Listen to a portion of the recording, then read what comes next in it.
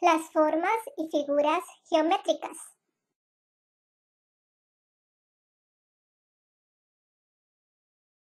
Triángulo, triángulo. Rectángulo, rectángulo. Círculo, círculos. Cuadrado, cuadrados